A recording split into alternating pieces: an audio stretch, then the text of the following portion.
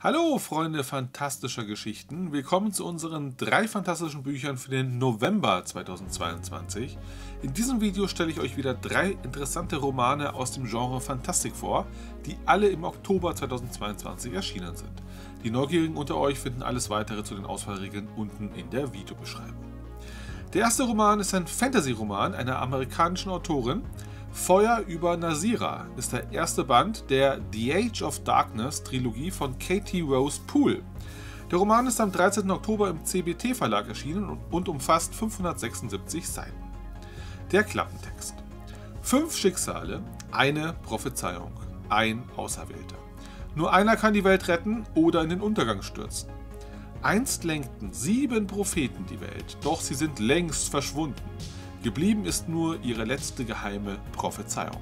Sie sagt ein Zeitalter der Dunkelheit voraus und die Geburt eines neuen Propheten, der die Welt entweder retten oder ihr Untergang sein wird.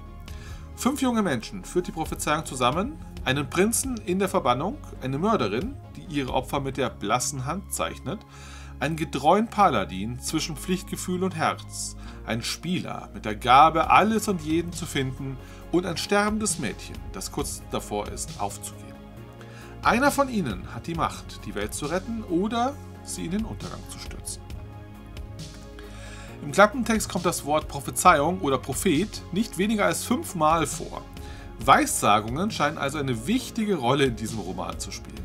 Das Personal scheint mir interessant besetzt zu sein, obwohl ich bei den Worten Prinz und Spieler einige Stereotypen befürchte, aber mich gerne vom Gegenteil überzeugen lasse. Die The Age of Darkness Trilogie ist bereits in den letzten Jahren im gebundenen Format erschienen, der erste Teil jetzt aber erstmals als Taschenbuch. Für diese neue Veröffentlichung hat der Roman ein neues Cover erhalten. Die beiden anderen Teile der Trilogie, Schatten über Behesta und Das Ende der Welt, seht ihr hier mit dem Cover der gebundenen Ausgabe, die mir vom Stil her ein bisschen besser gefällt, auch wenn ich das schlecht beurteilen kann, ohne die Geschichte wirklich zu kennen. Viel wissen wir nicht über dieses Zeitalter der Dunkelheit, es ist also Zeit, mehr darüber herauszubekommen, indem wir die Bücher lesen. Das zweite Buch sieht wirklich klasse aus. Benji Blues, der Fluch der Todesfee von der deutschen Autorin Nina Blason, ist am 13. Oktober im CBJ Verlag erschienen und umfasst 416 Seiten. Der Klappentext des Buches. Die 19-jährige Dee arbeitet in Helsinki als Tontechnikerin und Songwriterin. Musik ist ihr Leben. Sie hat das perfekte Gehör und eine kraftvolle Singstimme, doch niemand darf ihren Gesang jemals hören. Nicht einmal ein lauter Ruf darf ihr entschlüpfen. Denn die entstammt einer alten Linie von Todesfeen. Natürlich hat sie ständig Angst um ihren Freund Arvo und ist vorsichtiger denn je. Doch sie muss bald erkennen, dass es eine Gefahr gibt, die sie nicht kontrollieren kann. Ein Geist ist Arvo auf den Fersen mit einer perfiden Strategie. Er will hier offenbar das nehmen, was sie am meisten liebt. Was steckt nur hinter diesen Angriffen und wird es die gelingen, ihre Liebe zu beschützen? Der wunderschön gestaltete Buchschnitt wird es laut Ankündigung nur in der Erstauflage geben. Ist wirklich etwas Besonderes, aber diesem Gimmick bedienen sich inzwischen immer mehr Bücher. Schade nur, dass man den Schnitt in einem gut gefüllten Bücherregal meist nicht zu Gesicht bekommt und er schnell Abnutzungserscheinungen bekommen kann, wenn man das Buch in der Tasche trägt. Neben der Gestaltung des Buches hat mich vor allem der Klappentext fasziniert. Die mehrmalige Erwähnung in der Buchbeschreibung, es wäre unwiderstehlich romantisch, schreckt mich eher ab. Dennoch wirkt die Geschichte, die im Klappentext kurz skizziert wird, angenehm unverbraucht. Eine Tontechnikerin als Heldin kenne ich noch nicht und auch die Fantasy-Gestalt der Benji kommt bisher nur in wenigen Büchern vor. Der Roman von Nina Blason verspricht also spannende Unterhaltung. Das dritte Buch ist angeblich eine Autobiografie. Die Autobiografie von Catherine Chainway ist am 17. Oktober bei Crosscult erschienen und umfasst 360 Seiten.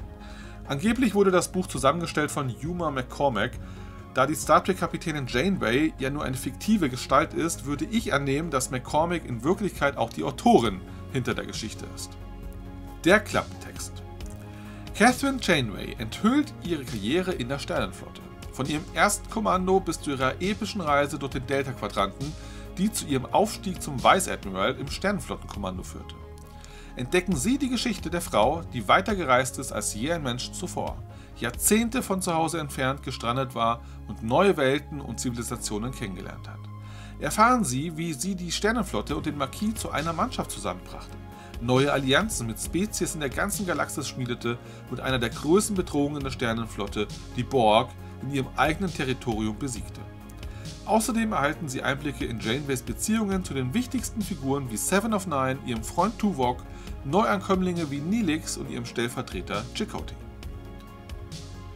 Natürlich ist es erstmal sehr aufsehenserregend, wenn eine fiktive Gestalt eine Autobiografie schreibt.